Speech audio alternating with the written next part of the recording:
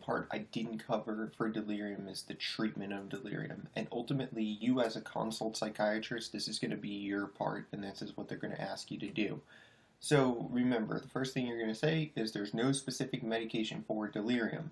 The goal obviously is to treat the underlying medical condition, whatever that is. If it's a UTI, if it's some other infection like pneumonia, if it's uh, post surgical, whatever the case is, you're going to review the chart and you're going to say, let's first rule out all the medical causes that could possibly do this. You're going to look at labs, you're going to look for electrolyte abnormalities, etc. The other important goal is obviously to provide physical and sensory and environmental support. So you don't want the person to get hurt. They really don't know what they're doing. They have this waxing waning level of consciousness. Their attention is short and unfocused. They could easily get hurt. So make sure there's a safe environment. The other one is you might want to put this patient on a one to one. You might want to put a companion in the room or a sitter in the room or have a family member watch the person because, again, this is going to help to keep them oriented. It's going to keep them, uh, it's going to help to, them to stay focused a little bit better. And with someone in the room, it's another additional safety measure.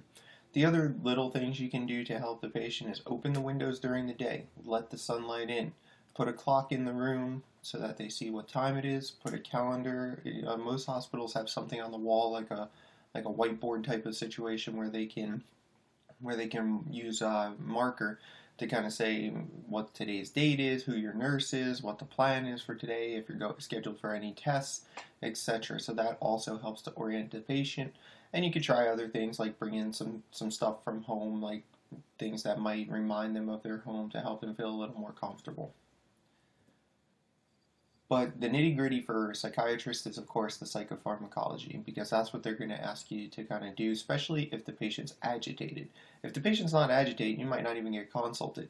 But a lot of times they consult you because the person's screaming uncontrollably, crying uncontrollably, uh, trying to pull out their IVs, trying to get out of bed when they when they have a deficit and can't walk. So this is all the kind of stuff that's going to prompt them to call you, and they're going to say, "Well, what are you going to do about it?" Because the patient's dangerous. So remember, there's no drug officially approved by the U.S. Food and Drug Administration for the treatment of hospital-acquired uh, delirium or hospital-associated delirium. The two major symptoms of delirium that really require the treatment are as if there's any psychosis, hallucinations, delusions, etc., and insomnia when they're not sleeping. Because of course, if you're not sleeping, that might also be a precipitant for delirium. If you're staying awake all night, if you can't sleep in the hospital, etc. A commonly used drug, obviously, for psychosis, and probably your go to medication with the most data behind it, most research, and longest going, is going to be haloperidol or Haldol, which is an antipsychotic medication. The initial dose, obviously, for especially for elderly patients, you want to start low and go slow, right? That's the typical story. So you might want to start with two milligrams or so, or even one one and a half milligrams, depending on the situation but somewhere around 2 to 6 milligrams IM, and you want to repeat that as necessary to control the agitation. As soon as the patient's calm, you want to transition to oral. So transition from IM or IV medication to oral medication. At this point, oral medication is a better choice. Um, basically, want to have two daily doses are usually adequate. So two thirds of the dose should be given at bedtime again because you want the patient to sleep. You want them to regain that ability. You want to decrease the risk for insomnia. So you're going to give majority of your dose at night and the other one third during the day just to kind of control the behavior a little bit so they're not so agitated. The effective dose is obviously anywhere from 5 to 40 milligrams a day, but most patients are going to be elderly and most are going to require obviously lower doses. And Haldol, of course, is associated with prolonged QTC, so make sure you have an EKG, review the EKG before administering any medication.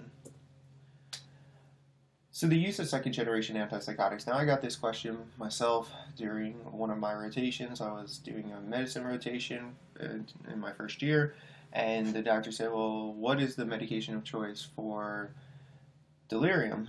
And I said, "Well, there is no medication of choice." And then I, when he pushed me a little bit on it, I said, "Well, Haldol would be a good choice," and he said, "No, quetiapine." So quetiapine is a good medication also for delirium. It's a second generation antipsychotic along with risperdal or risperidone or olanzapine, ziprasidone, aripiprazole. They've all can be kind of tried, but there's not a lot of data supporting any of these things. The quetiapine, there is some some good data, and mostly comes out of the intensive care journals. So the critical care units tend to like quetiapine for agitated delirium, and it is a good medication again because it's very sedating. So you give it like 50 milligrams at night and that might control the patient overall, you know, control their behavior, help them sleep, etc. So it, it is a pretty good medication. I don't think, but again, like this idea that like that's the gold standard is not necessarily true.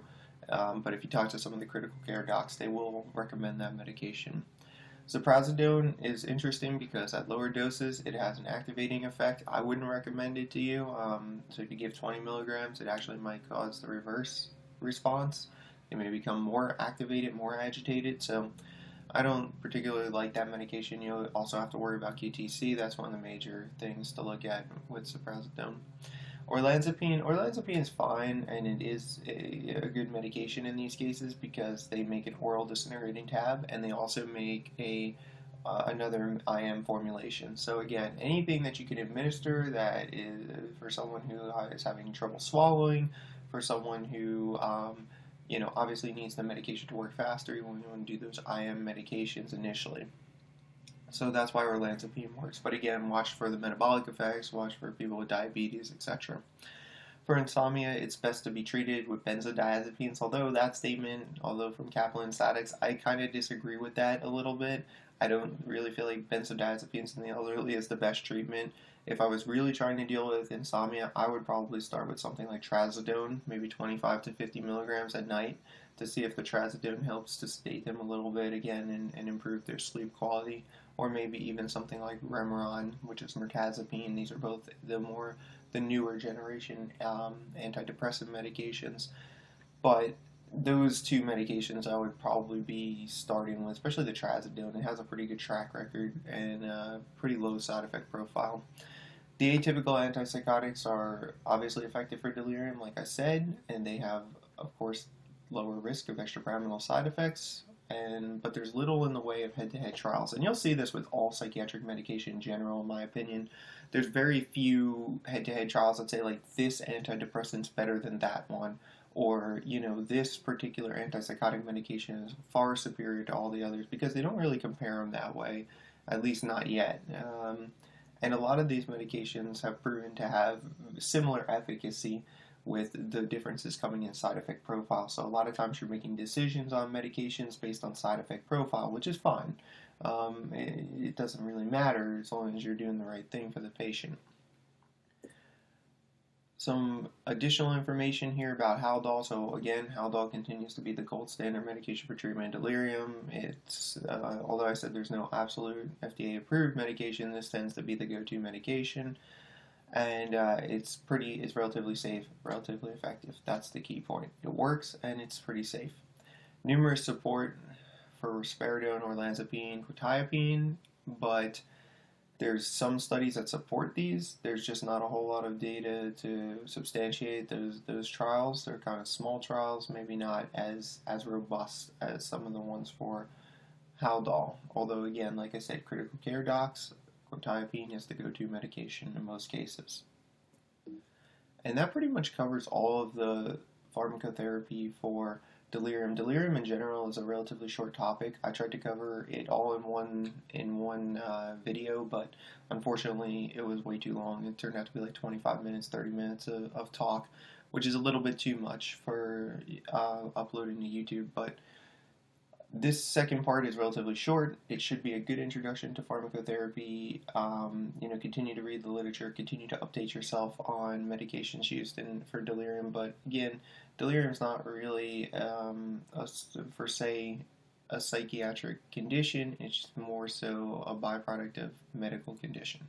Anyway, I'll leave you guys with that. Good luck out there in the wards.